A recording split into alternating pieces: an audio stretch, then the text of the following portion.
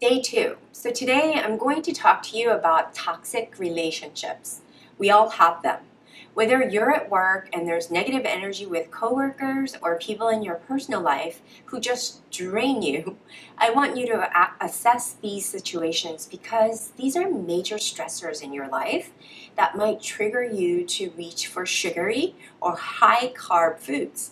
During the detox, try to distance yourself from these people. And oftentimes, when you distance yourself, the situation resolves because you become immune to the toxicity that they're giving off. Also, realize that we as humans like to resist change.